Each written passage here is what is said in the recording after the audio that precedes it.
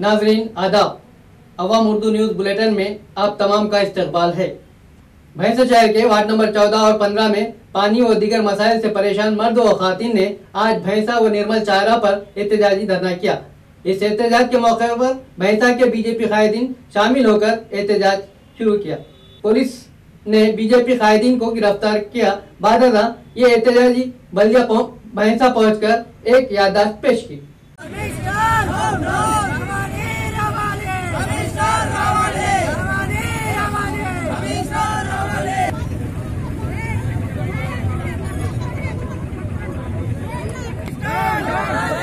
Commissioner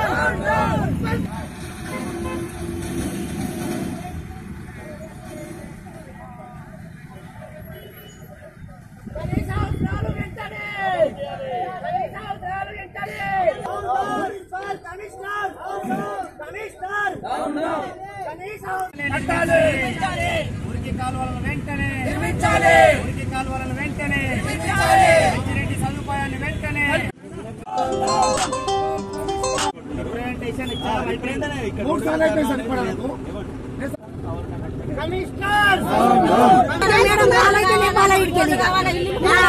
మేము ఓటేస్తే seat మీద కూర్చున్నారు మాకు ఖచ్చితంగా ఇప్పుడు ఏమి ఈ బాధ వెయ్యి నెల ఏడాది గడిచిపోతున్నాయి మాకు ఇవన్నీ సంవత్సరాలు కావాలా. మరి మేము గరీబ్ మేము వాటర్ చేసుకొని మేము కష్టం చేసుకొని మేము పొట్టట్లా నింపుకోవాలి. లేవు ఎవరు పెద్ద అయినా కానీ మేము గౌరవిస్తున్నాం మాకు ఖచ్చితంగా వాటర్ రావాలి కావాలని అసలు వాటర్ లేవు మాకు ఎంత ప్రాబ్లం అవుతుంది మేము ఎంత బయటకు వెళ్ళి మోసుకుంటున్నామో వాటర్ ట్యాంక్ రాకొచ్చింది గల్లీలో. ఎంత కష్టపడాలా మేము పనికి వెళ్ళాలంటే లేట్ అవుతుంది. మోర్లు లేవు రోడ్లు లేవు మాకు రోడ్డు చేస్తా అంటారు దాక్కుంటారు దొంగలు. ఏ రాజకీయాలు? మేము ఓటు కోసం కాళ్ళు మొక్కుతారు ఇప్పుడు. వచ్చిందాకా హామీ ఇచ్చేదాకా ఇవ్వము ఎవ్వరివి కానీ ఎవ్వరివి రాని. కలెక్టర్ గాని ఎవ్- ఆమె ఉన్నది ఉన్నది ఈడ బాసర్ల రాత్రి ఉన్నది. వీడు రావచ్చు కదా? ఇన్ని సంవత్సరాలు గడిచిపోతున్నాయి వాళ్ళకి ఏమైందట మరి? అసలు మేము ఉన్నామా లేమా గల్లీలా? ఆ, ఓటే ఎందుకంటే మేము. అలాంటి ఆ, దోసుకోడి అందరు ఎందుకంటుంది గల్లీ చెప్పుడు దగ్గర వచ్చే వరకు లేవాం ఇంటికెళ్ళి రోడ్ మీదకి లేవాం మేము. అచ్చే వరకు లేవాం ఓల్వి రాని కలెక్టర్ అమ్మ వచ్చిందాక మేము లేవాం లేవాం సార్ ఎవ్వరు ఏమన్నా ఎవ్వరు ఏమన్నా ఫండ్స్ పద్నాలుగో పద్నాలుగో ప్రణాళిక సంఘం యొక్క ఫండ్స్ ఇంకా ఖర్చు కాలేక ఉన్నాయి. ఒకవేళ ఇంకా పదిహేనవ ఆర్థిక సంఘం నిధులు కూడా ఈ జనవరి ఫిబ్రవరి మార్చి వచ్చే అవకాశం ఉంది. మీరు కొన్ని చోట్ల నిధులు లేకుండా మీకు ఇష్టం ఉన్న దగ్గర ముందస్తుగా రోడ్లు వేసి రైన్స్ వేసి ఫండ్స్ వచ్చినా కానీ మీరు బిల్లు వేపిస్తారు. మరి మాకెందుకు ఇంత చురుకని చూస్తారు? ఇక్కడ హిందూ ప్రజలు అనేక కులాల వారు అందరూ కలిసిమెలిసి ఎంతో మంచిగా ఉంటారు. ఈ రోజు వర్షాకాలం వచ్చిందంటే నడవరాదు. ఈ రోజు ఇక్కడ లైట్లు లేవు చక్కగా. ఈ రోజు పాముల బెడద. అనేక ప్రాబ్లమ్స్ ఉన్నాయి. ఈ ప్రాబ్లమ్స్ కొరకు చాలా సార్లు తందా చేసింది గల్లీవాసులు. అయినా మేము ఇంకొకసారి ఏదైతే బీజేపీ ఉంటేనే పనిచేయాలని అన్నాడు జాబీర్ అహ్మద్ గారు నేను జాబీర్ అహ్మద్ గారు చెప్తున్నా అదే బీజేపీతో వచ్చేసారి నిన్ను ఓడబట్టి బయలుదేరి అభివృద్ధి చేసి చూపిస్తామని చెప్పేసి నేను అందరి సమక్షంగా హామీ ఇస్తున్నాను. ఇప్పుడు మున్సిపల్ కమిషన్ ఇప్పటిదాకా వచ్చిండు హామీ ఇచ్చిండు. కానీ ఈసారి మేమైతే కలెక్టర్ దగ్గర తీసుకెళ్ళాలని చెప్పేసి అనుకుంటున్నాము. మున్సిపల్ వాళ్ళు ఎవరు వస్తే వాళ్ళని తీసుకొని ఇటు నుంచి ఇటే మేము రెండు మూడు జీపులు తీసుకొని కూడా మేము కలెక్టర్ దగ్గరికి వెళ్తామని చెప్పేసి అనుకుంటున్నాము. అయినా ఇప్పటివరకు మున్సిపాలిటీ ఎవరు రాలేదు. పోలీసు వాళ్ళు శాంతి భద్రతల గురించి వారు కూడా ఆలోచిస్తారు. వారికి కూడా మా సహకారం ఉంటుంది. కాకపోతే ఎవరైనా వచ్చి ఇక్కడ హామీ ఇచ్చి మాతా కలెక్టర్ ఆఫీస్కి వెళ్ళాలని చెప్పేసి అప్పటివరకు మేము ఇక్కడనే కూర్చుంటామని చెప్పేసి తెలుపుకుంటూ భారత్ మాతాకి मंडल कुंटाला के देहात लिम्बा के की अवाम ने लिम्बा के में उर्स जोश मनाया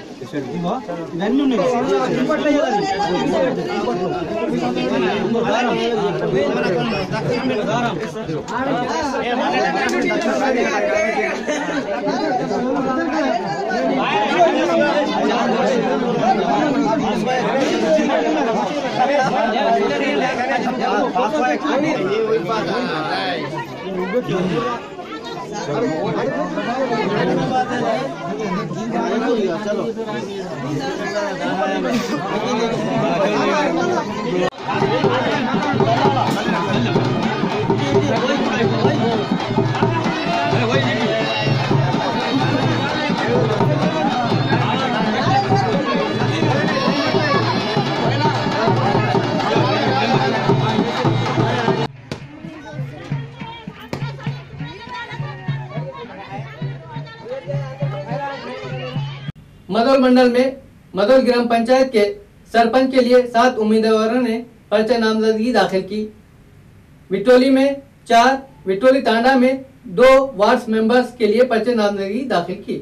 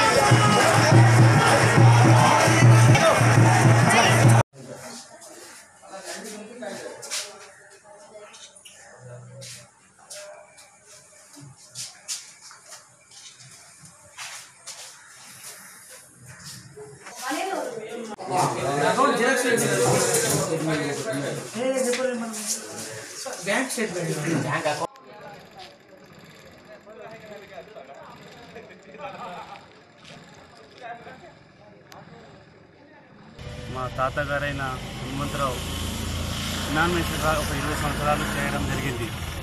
మరి అప్పుడు చాలా యాభై సంవత్సరాల క్రితం అనుకుంటా దాదాపు.